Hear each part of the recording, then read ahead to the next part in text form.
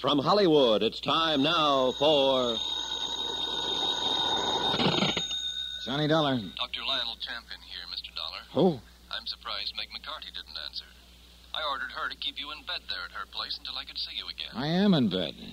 And I take it you're the doctor who bandaged me up this way, put on this splint. That's right. After I tangled with the propeller of Captain Morgan's fishing boat this morning. Yes, only it was yesterday. Huh? You were unconscious when the captain and his men brought you in. After treating you, I gave you sedation. Oh. Rest was the most important thing. How did you ever happen to fall off that boat? Fall? Doctor, I was pushed.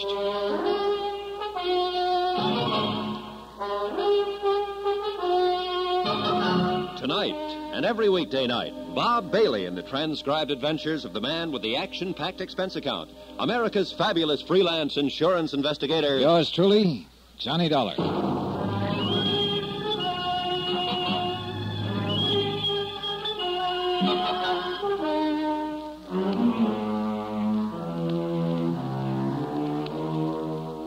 Special Investigator Johnny Dollar, location Cod Harbor, Massachusetts, to the Intercoastal Maritime and Life Insurance Company, Boston. Assignment The Meg's Palace Matter. Report and expense account continued.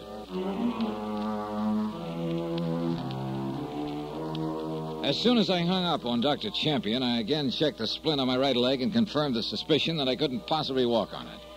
Then, a few minutes later, Meg McCarthy came into my room. She carried a tray filled with enough food to choke a horse. And while I piled into it, she brought me up to date. It's in Barnesboro that Dr. Champion has his office. And lucky it was for you he happened to be here in Cod Harbor on his weekly visit. Oh, you were a sorry looking mess when the men brought you in. Yesterday, the doctor said. You've been out as cold as a codfish ever since. But I can tell by the looks that the rest has done a lot for you. How do you feel? As a matter of fact, Meg, I feel pretty. Oh, well, pretty good. There, you see, you've got to take it easy, like the doctor said. Just lay there and rest and sleep and eat all the good food I bring you. Yeah, except that unless I get up and going on this case. You try that and I'll lash you to the bedpost. Doctor's orders is doctor's orders, so don't you try nothing different. Yes, ma'am. Oh, it's a miracle, praise be, that that propeller on the Lily Ann didn't cut you to ribbons. Captain Billy and his crew brought me back here, huh? Who else? Where are they now? Fishing out on the banks, of course. What did you expect? Don't you know they have to earn a living the same as me and you? And what about keeping up the payments on that seagoing bathtub? Precious little time they had for fishing yesterday after that fool trick you pulled falling off of her. Is that what they told you happened? Of course, what else? Meg, which of the men told you I'd fallen off the boat? Well, all of 'em. Only the first mate, young Charlie Montgomery, the engineer, and of course my Willie by himself, Captain Morgan, to you. And they all told it the same way? What? Why not? Should they be after making up fairy tales? How did they tell it? You're sure that screw didn't hit you on the head, too? You lost your memory? How did they tell it, Meg? It's important. Well, whilst they went about their chores, you were standing alone up in the bows. Then they heard you yell. Yeah? Despite of the darkness, they seen you splash in the phosphorescent wake. And there you were, being sucked under by the prop. That's all. And they all told it the same? Exactly the same. Even young Charlie Buttons kept saying it over and over. I saw it, I saw it all. Oh? Like, well, you know, like he was still struck with the fear of what might have happened to you. I wonder. Well, stop wondering and get yourself some more sleep, or the doctor'll have me head. And if he does, I'll take it out on you. And believe me, Johnny boy, that will be a lot worse than the fool accident of yours ever was. Meg, listen to me. It was no accident. What? I was thrown overboard. Oh, Johnny boy, you're raving delirious out of your head. I was leaning over the rail, watching the water, and a powerful pair of arms belonging to somebody aboard that boat picked me up and tossed me over. Saints, who? Ole Jensen, young Charlie Buttons, Montgomery, or Captain Billy himself. You start raving, Johnny. You must have got hit on the head. And I'll bet my last buck that whoever did it is the same one who slugged me in the alley, the same one who's threatened to burn you out of this place of oh, yours. Oh, no. And the minute I get up out of this bed, I tell me something. Yes? Tim Beasley, your police chief and mayor and so on. Yes? Has he been up here to see you? That good for nothing blatherskite, no. And what's more, if he shows his ugly face in my establishment, I'll toss him out on his beam ends. But why do you ask? Because I told him to get the threatening notes from you. Check them against the handwriting of several people here in Cod Harbor. Who? Like that sniveling cousin of his, Clem Harris, that runs the Silver Plate Cafe? Yeah, among others. Well, he ain't been here, and I won't have him here. I take it you and he don't get along. Of course we don't. Why? Because ever since his cousin Clem has been in business, Tim has threatened to close me up For what reason? for breaking town ordinances on restaurants. The kind he enforces over to Barnesboro. Well, have you been breaking them? No more than no less than dear cousin Clem or Tony Fortin or Ernie Turner does after their harsh joints. But me, he always is picking on, and why? Because I get most of the business from the fishermen. So you want a suspect in this case, Johnny boy? You've named them for me, Meg. The other cafe owners. All right, so I'll give you one. Tim Beasley and Clem Harris working in cahoots. And if it wasn't one of them waylaid you in the alley, Whoa, whoa, wait a minute. Neither of them could have been aboard the Lily Ann. then you must have fell. Oh, Meg, when is the doctor coming to see me? Hmm, He should be here by now. Well, if he doesn't come pretty soon, I'm getting up and going, orders or no orders. Johnny? Motives, suspects. Why, Meg McCarthy herself could have rigged this whole thing. Called me in as a cover-up while she burned up her place to collect 15000 insurance.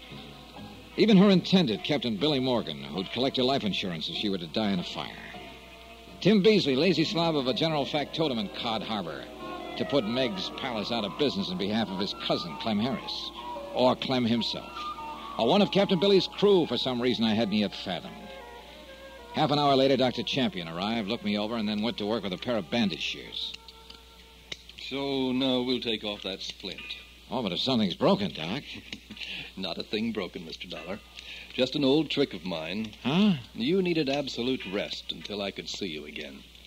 And from what I've heard about you, you wouldn't have taken it unless I fooled you into it. And that was the sole reason for the splint. Doc, you're a wonder. there we are. And in view of your surprisingly good condition, I'd say you may be up and around as soon as you honestly feel able. Say, even tomorrow, perhaps. Item eight, ten dollars for medical services. All the Dr. Champion would accept. Needless to say, as soon as he left, I planned to get up and get to work. But as he walked out the door, Meg brought Captain Billy in to visit and sympathize. So, in hope of keeping him off guard, I played real sick. Then Ole and Montgomery came in, too. But I needed to get these men alone, and I must admit, be feeling better than I did. Then I realized that young Charlie hadn't come. I asked about him. To Barnesboro, Johnny said as long as the doctor was keeping you in bed two or three days, he could see you when he gets back. But wait a Uh, minute. he went to pick up some supplies for Meg here, like he always does. Uh, gives him a chance to drop in on his sister where he keeps his Sunday clothes and things. He wasn't out on the boat with you today? Ah, Meg spoils a lad that way. Always has him going in for supplies when I need him the Oh, most. look here now, Willie boy. You talk like I was the one picked today. Well, of for him. course you did. Of You course. I didn't, and don't you tell me. He said it was you. You're off your to- course, Oh, McCarthy. I am. You know blasted and well as don't you are. you shake your finger at me, you blue You pipe down, woman. Do you want Mr. down, Dollar to have a relapse? You. Oh, Johnny boy, I'm sorry. Shut up, Bill. It's okay, Meg. And But Willie tell me boy, I'm sorry if I seem to be raising my voice at you. Oh, bless you, Meg. It's that fiery spirit that keeps me loving you. Yeah, but now, uh, why don't we leave the poor man alone to recover, huh? Come on, boys. Yes, come on, all of you. Out you go. After you, Meg. Oh, After my, you. how polite we are. Montgomery, wait. Oh, Mr. Dollar, something I can do for you to ease your bed of pain? A little drink or something? I've a bottle aboard the Lily Ann. No, no, thanks. I want to talk to you about Charlie. A real fine lad he is. Now, I'm sure he'll be wanting to see you when he gets back from his visit in town. No, no, wait. Uh, Captain Morgan said he has a sister in Barnesboro. Do you know the address? Oh, that I do. Many's a fine meal we've had from her on our time off. Well, I want to see her. You know, just a little personal thing. Oh, then here, I'll write down the address for you. She lives in a pretty little house on the corner of Island. Maybe Montgomery was the wrong one to ask. I don't know. But I had to gamble somewhere along the line. And if my suspicions about Charlie Buttons was right, I hoped I wouldn't be too late. When Montgomery had left, I sneaked out the back door to avoid Meg and hurried over to Tim Beasley's office in the shack that functioned as Cod Harbor City Hall. He wasn't there. A woman who lived next door informed me he'd taken off in a hurry to Barnesboro. So Beasley had gone to town after Charlie. Or had he? For $25, that's item nine, I rented a creaky old truck and headed for Barnesboro. Charlie's sister's house was on a gravel road out on the edge of town. There was no other car there, so I stopped in front of the place, got out, and walked up to the front door.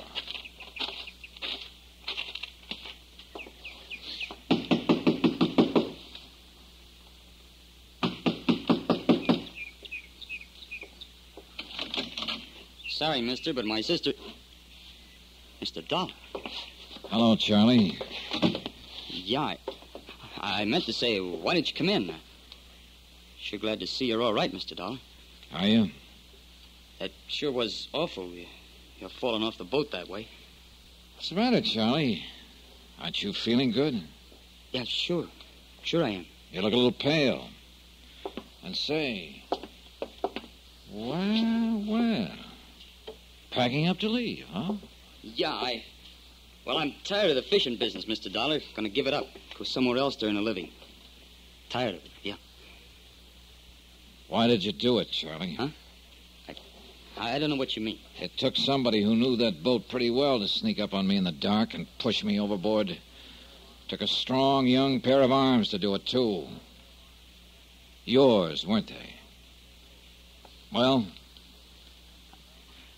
didn't want to do it, Mr. Dollar. So help me, I didn't want to. But he made me. yeah? Who made you? He found out. He, he found out about me, about my record. What record? That that I'd killed a man once, accidentally, when I was just a kid. That I'd run out and escaped from the reformatory.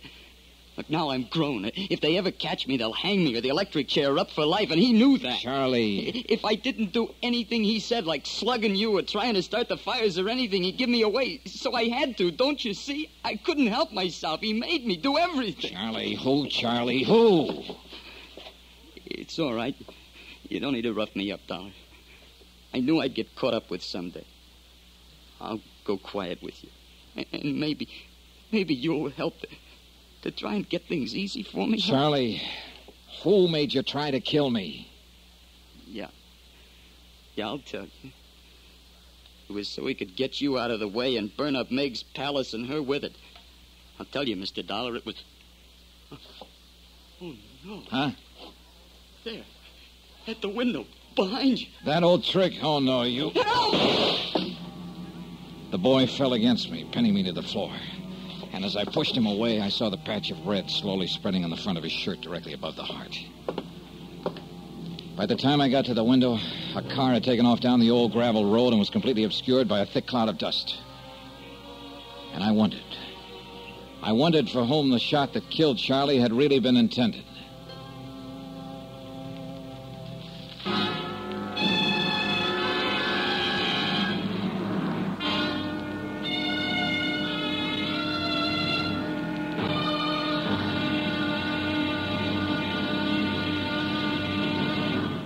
Now, here's our star to tell you about the final episode of this week's story. Tomorrow, a killer strikes again. But one of his victims rises from the grave to strike back. Join us, won't you? Yours truly, Johnny Dollar.